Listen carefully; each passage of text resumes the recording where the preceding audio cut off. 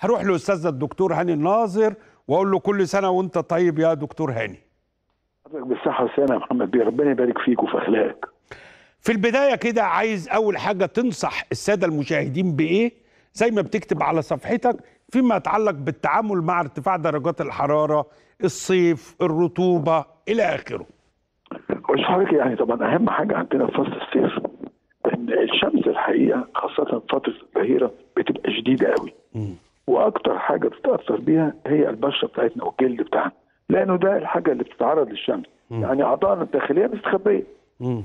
إنما الجلد هو الصد الطبيعي بتاع الإنسان اللي بي إيه بيقابل الكلام ده.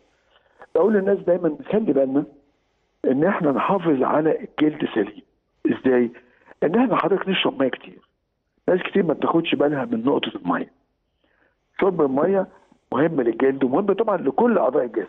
هل هناك آثار جانبية لزيادة شرب المية لا اشرب زي ما أنت عايز حضرتك. إنما العكس صحيح تماما. آه، قلة شرب المية بتعمل جفاف في الجلد بتأثر على حيويته بتؤدي إلى تشققات في الجلد بتؤدي إلى تكسر الأظافر الشعر غير طبعا تأثيرها بقى على جلطات الدم بتعمل جلطات طبعاً. فإذا الشرب بما يعني تقريبا يساوي 3 لتر مية متوزعين على مدار ال 24 ساعة مم. يعني طول ما أنا قاعد كده جنب الإزازة كوباية بشرب حتى وأنا نايم بالليل أحط جنبي شوية مية لما أصحى أشرب ده رقم واحد مم. رقم اثنين آه، يعني الحرص على عدم التعرض المباشر لأشعة الشمس فترة الظهيره.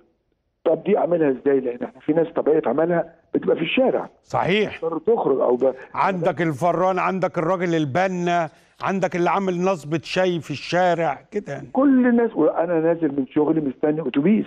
آه، بقف مس... فبتعرض للشمس. أسهل حاجة إن أنا أحط حاجة فوق راسي لازم. برنيطه كاب زي ما تسميها حضرتك ويبقى لونها أبيض؟ ويبقى هي مش بس هي أبيض واللبس كمان لا أبيض. دي النقطة اللي كنت هاجي فيها دلوقتي. إن في الجو ده ما نلبسش ابدا حاجة لونها غامق. يعني بتحتفظ بالحراره ويا ريت تبقى الملابس قطنية. إحنا الحمد لله عندنا القطن موجود وأسعاره كويسة. يبقى طيب. ملابس قطنية ألوانها فاتحة أغطي راسي وممكن يا محمد بيه كمان يعني برضه تبقى لو أنا ماشي في الشارع ولا حاجة شمسية صغيرة في إيدي من هما شمسية اليد. وأنا حتى دايما بقول للناس اسمها إيه؟ شمسية. يعني دي مش بتاعة المطر زي ما إحنا فاكرين. لأن هي لو كانت بتاعة المطر كانوا سموها مطرية صحيح هي اسمها شمسية مم. يبقى اذا دي بتاعت الشمس فبرضه دي هتحميني وتمنع كمان ضربات الشمس اللي ممكن نتعرض لها. آه، الحاجة الثالثه بقى ودي ملحوظة مهمة جدا وعايز أتكلم فيها وأرد لأن في ساعات ناس بتتكلم في الموضوع ده. نستحمى بمية درجة حرارتها إيه؟ في الجو ده ما ينفعش أستحمى بمية سخنة. لازم استحمى بالمية الباردة العادية. ليه؟ عفوا اللي هي برودة ماء الحنفية. بالظبط. مش طبعا مش من الثلاجه آه لا يعني هو يفتح الحنفية يستحمى كده. اللي هي الناحية اليمين. نعم. إنما ماليش دعوة بناحيه الشمال لأن المية السخنة لما أنا بستحمى بمية سخنة بتساعد على تمدد واتساع الشرايين. وبالتالي كمية الدم اللي رايحة الجلد بتبقى عالية جدا. وده هيسخن الجلد أكتر. أنا عايز في الجو ده أبرد الجلد وأرطبه مش أسخنه. وأنا دلوقتي لما بتعرض لحاجة سخنة مش بجيب حاجة باردة أبرد بيها وشي. صحيح. ما ينفعش أحط بقى مية سخنة. فمن العادات عندنا إن الناس بتستحمى بمية سخنة. فبنقول في الجو ده نستحمى بمية عادية وبلاش المية السخنة. أقول للناس حاجة كمان ما بناخدش بالنا منها. أثناء اليوم لابد من تهوية القدم. يعني في ناس بطبيعة آه، شغلها. بتلبس شراب وجزمه فتره طويله لازم بين الحين والآخر لازم كده أقلع الشراب وأهوي رجليا لما أرجع بقى البيت على طول آه، آه، أجففه وما أسيبش ابدا مية في رجلي أو عرق لأن ده بيساعد على الإصابة بالفتيات بين أصابع القدم ودي بتبقى مؤلمه جدا في الصيف. طيب اسمح لي حضرتك نروح إلى الأكزيما. ما هو تعريف الأكزيما وكيفية الوقاية وكيفية العلاج؟ الإكزيما حضرتك آه، نوع من أنواع الحساسية. الحساسية اللي بتجيلنا دي أنواع في منها الأرتكارية وفي منها الإكزيما. الإكزيما كمان نفسها حضرتك أنواع. يعني في أنواع من الإكزيما آه، بتزيد مع التوتر والشد العصبي. بنسميها الإكزيما العصبية. في إكزيما بتجيلنا من التلامس مع المواد الكيماوية. يعني تلاقي الناس العمال اللي بيشتغلوا في مصانع الكيماويه أو الأسمنت أو الجبس أو سيدات البيوت مع استعمال الصابون بتاع الغسيل والمواعين بيعمل التهابات في الإيدين وبتبقى يعني على هيئة احمرار ثم تسلخات دي بنسميها جزيمة التلامس. يعني لما بتلامس حاجة بتعمل كده.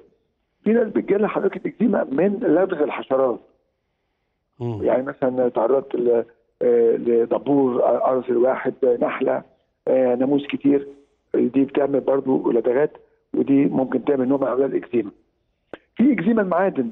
يعني في ناس لما يلبس ساعة الاستيك بتاعها معدن أو توكة الحزام أو سيدة تلبس العقد أو السلسلة في الرقبة أو حلق في الودن عند البنات الصغيرين تبص تلاقيها من اكزيمه المعادن ودي برضه مؤلمة. في ناس بتجيلها الاكزيما من أكلات معينة.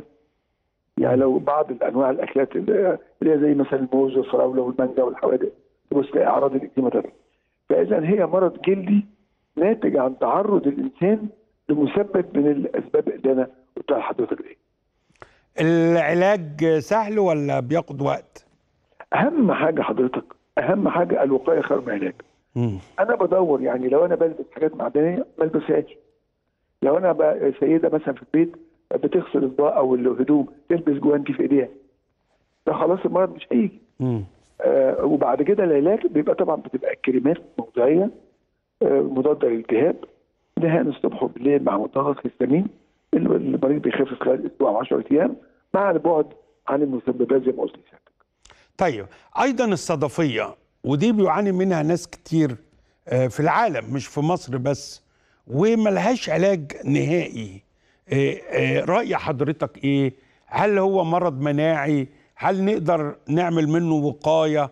هل له علاج؟ هقول لسيادتك حاجة اولا اسمح لي تعليق عشان حضرتك قلت حاجة مهمة دي وأنا عايز الناس تفهمها يعني. دايما كتير الناس يقول لك إيه أنا عايز علاج نهائي للمرض الفلاني مش بتكلم على الصدفيه بس على. أي مرض. في الطب مفيش حاجة اسمها كده حضرتك. يعني مفيش حاجة اسمها اكتب لي يا دكتور على علاج للمرض الفلاني ده يخف ما يرجعش تاني. ما كانش حد غلب. آه يعني إحنا حضرتك لما بيجي لنا صداع بناخد قرصين مسكن ما بيرجعش تاني. ده بيرجع تاني؟ والبرد والإسهال والكحة والامساك في أي مرض في الدنيا.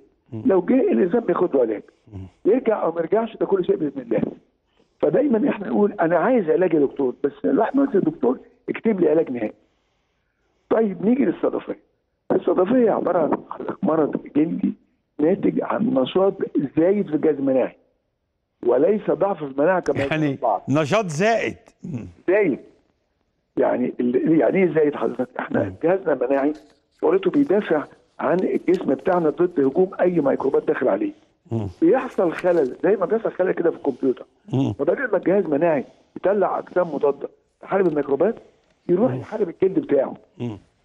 طبعا الجلد بيدافع عن نفسه بأنه بيكون طبقات كتير من الجلد بسرعة فيعمل المظهر اللي بتشوف الصدفيه اللي هو جلد آه، يعني سميك لونه أحمر وعليه قشور فضيه اللون تشبه الصدف عشان كده سموها آه، صدفية وبالمناسبة هو مرض غير معدي. لأن في ناس كتير بتعتقد إن الصدفيه معدية وبتسبب مشاكل نفسية كتير لناس. آه، حد عايز يتقدم نعم. عندها ص... لا يا جماعة أنا بقول للناس مش حاجة اسمها كده. أنت عايز تقدم لواحده عندها صدفيه آه عادي مش مشكلة. مش مش مشكلة زي القش الشعر بس في. نصايح حضرتك بتقولها الناس آه، تروح لعيون موسى تروح مياه كبريتية. هل لا تزال هذه النصائح ساريه أحسن علاج لا مش مش مش المياه الكبريتية حضرتك مية البحر المالحه مية البحر الملح. علاج علاج زي الأدوية بالظبط حضرتك. يعني أنا لو مريض بينزل البحر الفترة دي من 4 ل 6 العصر يقعد الساعتين دول يستحمى في البحر ويتعرض للشمس في الفترة دي اللي هي الساعة 5 بتاعت مش عارف طويلة الموجة ده علاج.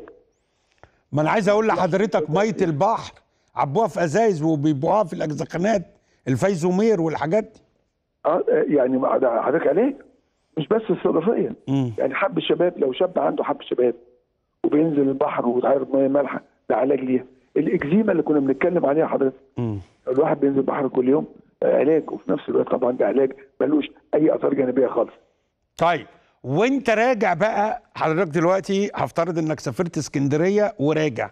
وانت راجع بتلاقي آه، شباب واقفين كده في محافظة البحيرة على الطريق الزراعي وماسكين لك الليفة. فاكر الليفة بتاعت ست وستك زمان؟